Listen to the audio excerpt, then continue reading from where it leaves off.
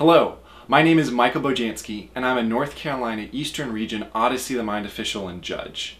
This video is part of a series of videos on how to set up and run spontaneous problems effectively as a team. Now, coaches can use this resource, or team members can use this resource. It does a good job of both introing the problem, setting up the problem, how the team solves the problem, and then also how to run the debrief effectively. Now this video is hosted on the Odyssey of the Mind wiki, which is a great resource not only for spontaneous problems, but for any other question you might have about outside assistance, long-term, and style.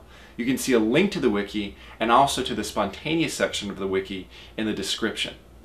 Please enjoy the video, and if you have any questions, please comment or contact the administrator of the wiki directly.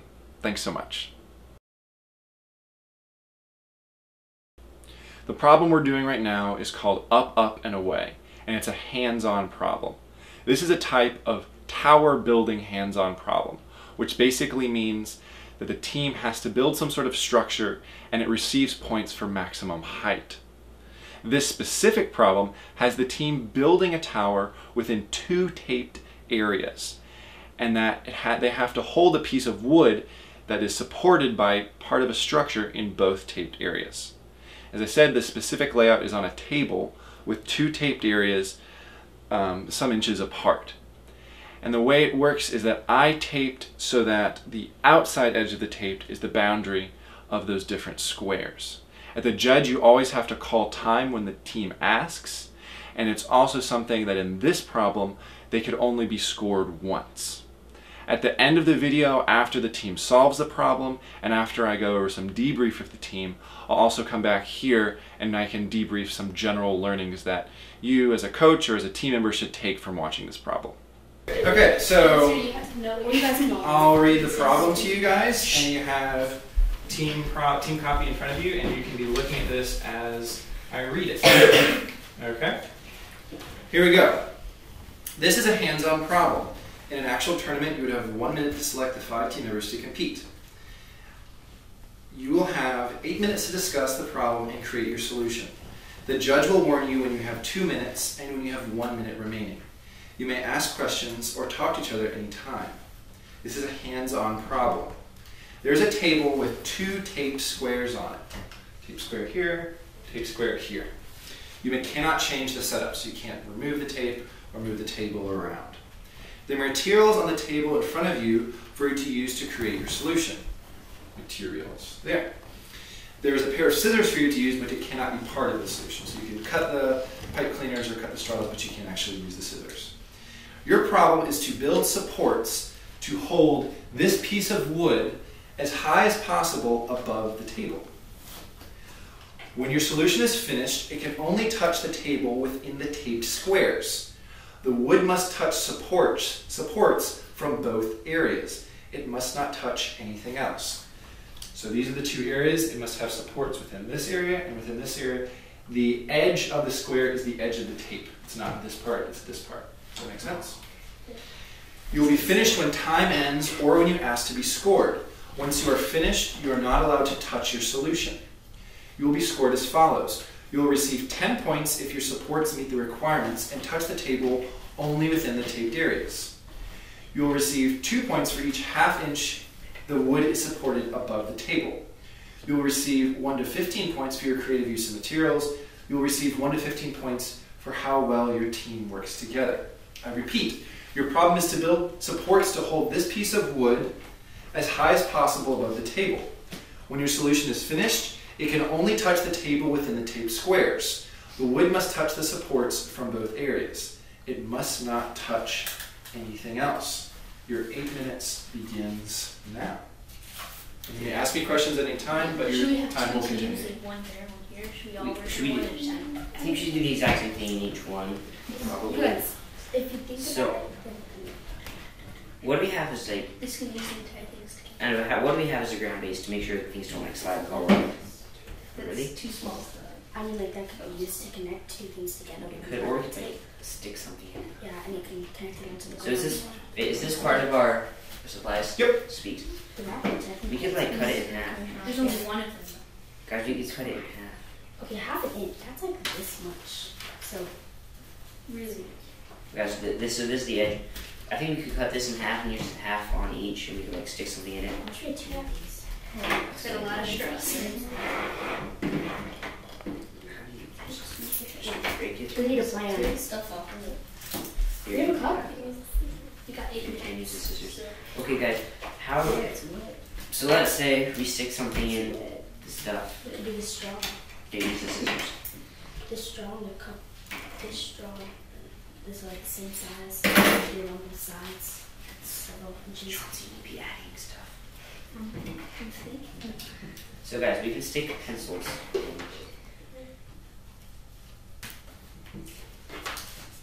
This is pretty sturdy. And we have to figure out a way to connect.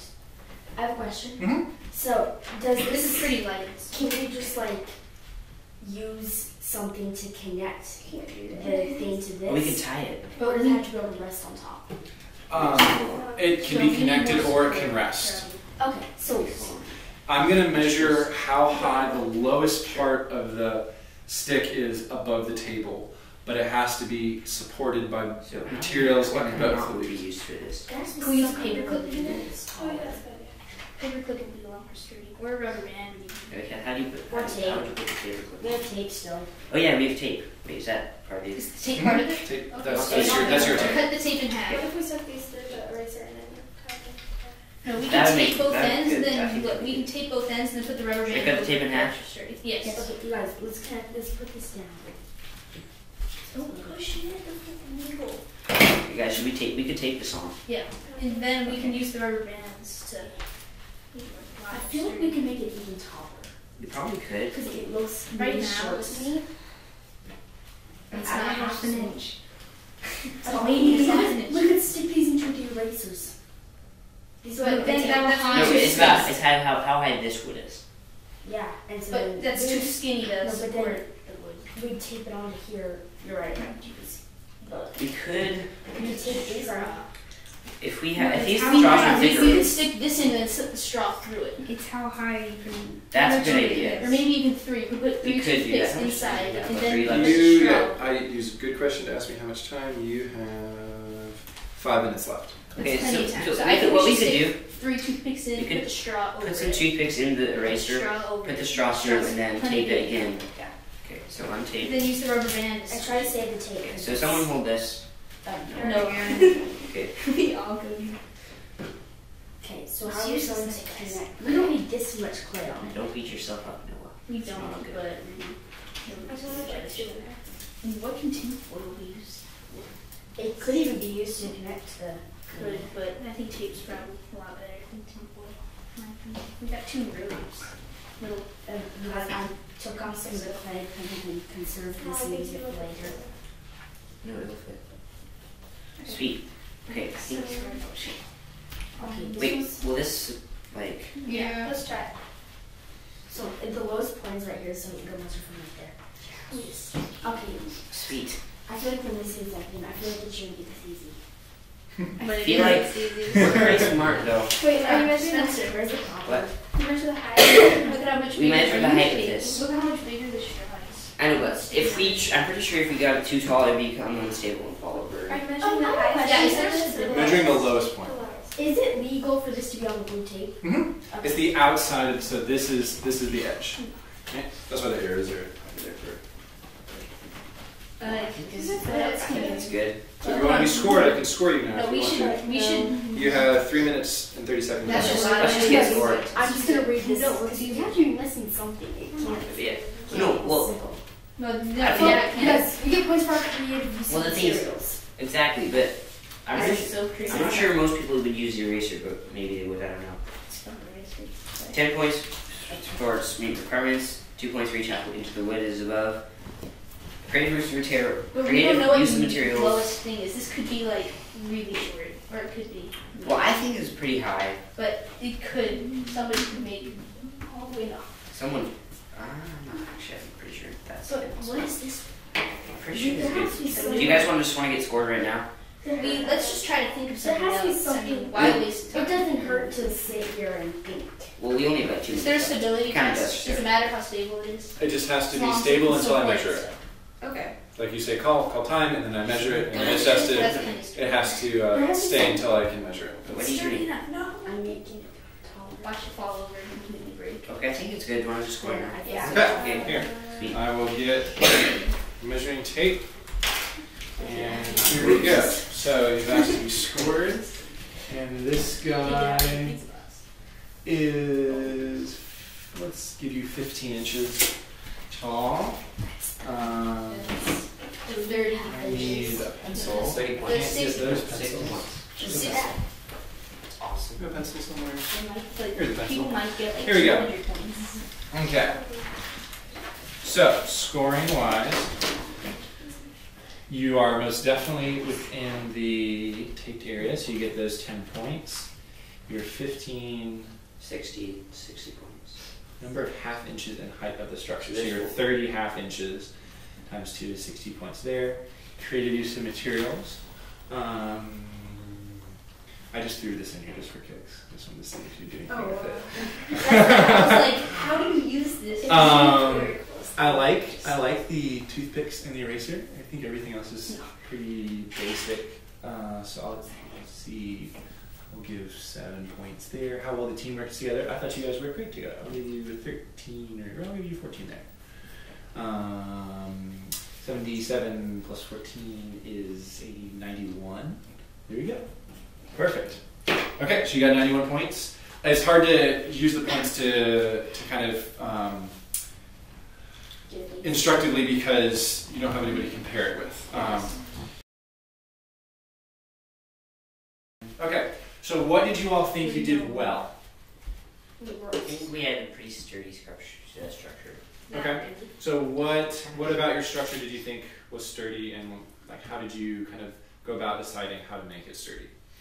Well, I think that the toothpicks made it a lot sturdier than it was before, and I think that was a good idea. Okay. Um, why did you not choose to use, let's say, the pipe cleaners or any of the other things? Flimsy. Because they're flimsy. What about the cup? Just one Yeah, we only had one. They made it hard. Yeah. Okay. Um, w- so you guys made the decision to get scored earlier, um, when there's still, I think, about like two minutes of time left. What kind of made you decide to do that? I was against. I didn't. See, I didn't see how we were gonna make it taller and yet still sturdy. But we could have, but I didn't. Was there any real risk in just, let's say, adding these two and seeing if it could be taller? That's Yeah, what I There was no risk. There was risk because if the timer went off and you're still trying to build it, We had then three maybe we wouldn't. But you it. had three minutes remaining. That's a lot. So, in some problems like this, like this, it could, it, especially when your materials are like spaghetti and it can like snap, then sometimes you don't want to take that risk. But for something like this, this is since if you know this design, it's probably fairly easy to replicate, even if the whole thing fell over. Yeah. So I would say it probably would have been a good idea to at least try to use these guys and just see if you could done another what's this eight inches, Yeah. um, or even see like cotton stuff in you know, could you use could you use like this and create like a little divot, and then even do something like on top of that, right? Mhm. So like that could go in there and that could rest. Um, another thing, which is a possibility, I don't know if this would work, but um, if you had kind of like joined these supports somehow, then as long as the supports are both touching this, then maybe there's some way that if it kind of like went in the middle and then you could have it um, rest on there. That's another idea. Or, I don't know if the problem means to this, but you could also technically say there are zero or ten points for this inside the square. What if you said, I don't care about those 10 points. I'm just going to build it as high as it possibly can be. Right? You lose those 10 points, but what if you get 15 more inches? It doesn't matter. Right? So that was one thing that was, was good when you were reading through the problem. You're saying, okay, where are these points coming from? But sometimes um, you have to treat where can I get the most points? And that's an example of, hey, maybe we won't get the points because it's going to be outside of this, but we can still max out another category. Um, cool. Any other thoughts that you guys had? Things that you liked, didn't like? We probably should have waited a little bit longer to say that we were done because Well, I didn't. I was like, you guys need to be done. I was like, do you guys want to be done? Yeah, I thought that was good because you guys were definitely talking about. It. I didn't feel like, any one of you were like overpowered. And was, I think it was it was consensus. I like that you guys were talking about what you wanted to do before you started building. I thought that was really good. Um, and it wasn't like one of you kind of reached in and just started building stuff, and then everyone's kind of joining. And I thought you did a good job of talking through stuff. Um, and I think you all definitely like looked at what the materials were for you. Um, so yeah, great job. So now you've seen how the problem was solved by this team. Some general things to think about on how the team solved the problem and how to apply this problem to many sorts of other tower building problems or even hands-on problems in general. You always need to understand how much time you have. This team decided to be scored early, which is perfectly fine. They did a very good job of continually asking for how much time is remaining. Judges will always tell the team how much time they have remaining and it's never a penalty. Teams can also decide to have a team member be a timekeeper. And this way, a team could either have an electronic stopwatch or, um, or a regular stopwatch, as long as it doesn't have an alarm function on it. Uh, teams could not use cell phones to, um, as stopwatches. But a team timekeeper is able to keep track of time for the team, and they also don't have to be um, worried about asking the judges. So this is something that a team should consider. Another thing to think about, especially as the team asked to be scored early, is understanding how much risk there is in continuing to build. Now there's no hard and fast rule for this, but in a problem like this where the team had a relatively stable structure, it might have been a good idea for them to continue building, especially since they had so much time remaining. But again, this is up to the team and it's in each individual scenario. But understanding how much risk there is in continuing is something that a team uh, gets to understand as they do more spontaneous problems. They also did a very good job of making team decisions. There wasn't really any point when the team was uh, separated or making decisions uh, individually. They really made decisions by consensus um, with one or two team members acting as leaders. So they did a very good job of trying to um, have very good teamwork and even though their um, solution might have not had as much height as it could have had, they had great teamwork in working through it. Um, and then the last point is something that I made in the video, is that uh, in some spontaneous problems, you can miss points in some areas to get a lot of points in other areas. In this problem, the example was that if the team decided to not even build any part of their structure inside the taped areas, they would lose uh, the 0 or 10 points category. But they could make it up in maximum height because they could probably build a much uh, more stable and easy structure now they didn't have to spread it apart. Not all problems have this component, but it's something that teams should always look for as kind of a trick in the actual scoring categories. Um, it's also a good idea to ask judges about this because judges also might say if you don't have, in like in this example, if you don't have um, uh, you know, either part of your structure in these areas, then you'll receive no score for height. But it's always something good to ask because there might be a trick in the scoring. Thanks for watching this problem, and I hope you like the other videos of spontaneous problems we have on the Odyssey of the Mind wiki, which you can find in the description. Thanks.